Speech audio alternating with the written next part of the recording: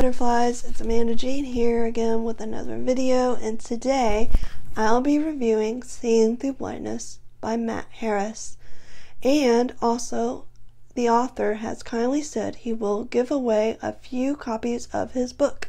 Please be sure to watch the whole video for details on how to enter the giveaway.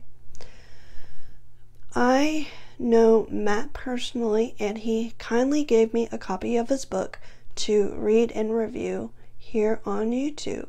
So, with that, let's jump into the review. This book talks about Matt's life from the time he was a young boy until he was in his early 20s, and it talks about his struggles with drugs and alcohol and how he had problems with the police and how he had an undiagnosed eye condition called retinitis pigmentosus, RP for short, and how he struggled during his life and how that impacted his life. So let's dive in a little bit deeper on some of the things that really caught my attention for the book. In this part of the book, Matt has a high school sweetheart, and this is what happened.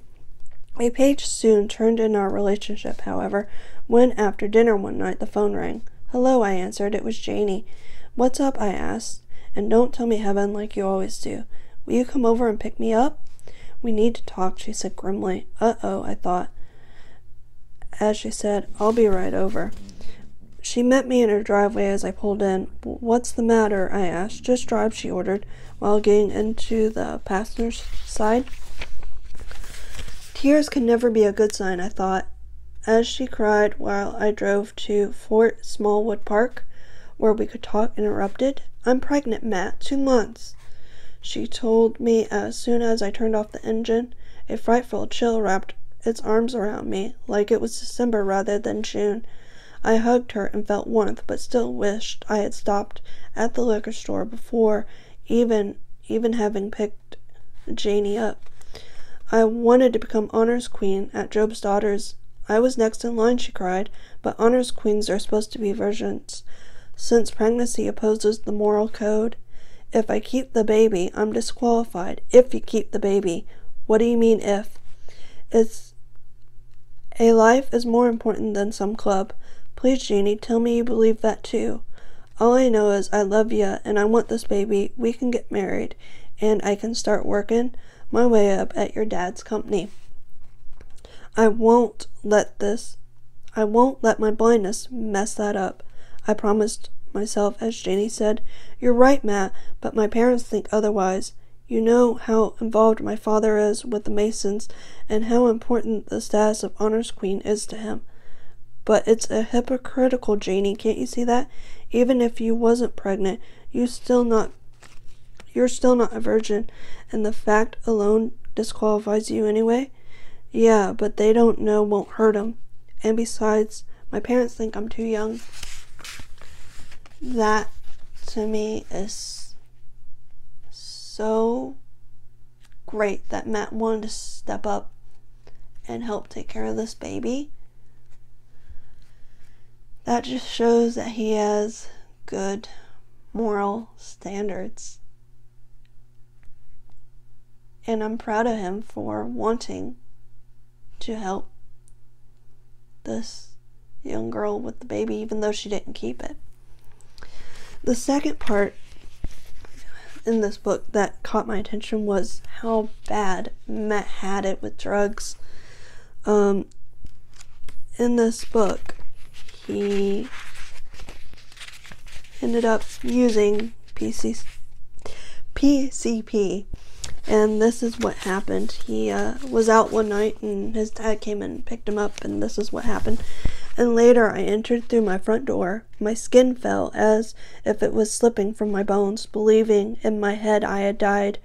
When a friend unspurred from my soul my body, he brought me to the gates of Hades, where I saw myself lying in a casket, my fingers folded as in prayer.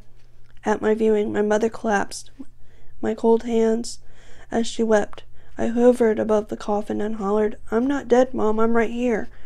As I touched her shoulder, trying to console her, She did not acknowledge me at all, still clutching the silent hands of her dead son. That just goes to show how bad drugs can mess you up. In fact, Matt did go to court um, for having PCP, um, and he had to stand before a judge, and luckily he didn't go to jail. But drugs can really hurt your future. And it's through God's wonderful gift of salvation that Matt was able to turn his life around and turn to Jesus. And that leads to my last point. And this actually was the part of the book that actually made me cry. When I finished, I, I cried because I felt that Matt was so lucky to meet Jesus.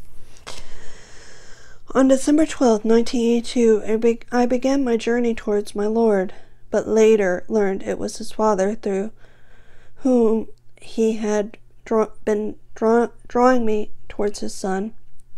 On that Sunday morning, six inches of snow blanketed the earth like a polar bear's hide. It was in, it was the day of my salvation, I knew. And then Matt goes on to say, And when the invitation from the pulpit came, I sprang from my hellish ditch, dashing down the aisle towards the front of the church. I want to get saved, Pastor, I cried out. A deacon named Wayne Foyer walked over, shook my hand, and led me in prayer, in which I repented of my sin, asking Lord Jesus to come in. At that moment, I was born again, God giving me his gift of eternal life. And in the back of his book, Matthew offers a way to accept Jesus as your Lord and Savior. And if you wish to receive this free gift, you can pray the simple prayer and mean it in your heart. Dear Jesus, I know I am a sinner and would be lost in hell without you. Please forgive me for my sins and come into my life. I believe that you died on the cross for my sins, and that God, your Father, raised you from the dead. Thank you, Jesus, for giving me your free gift of eternal life. Amen. And butterflies, if you like would like a copy of this book, please be sure to go check out my blog and enter the giveaway by leaving a comment by following Matt's instructions. And please be aware you must be a U.S. resident to enter the giveaway. If you like this review, please be sure to like, comment, share, and subscribe. And butterflies, I want you to stay positive, fly high, and I will see you next time.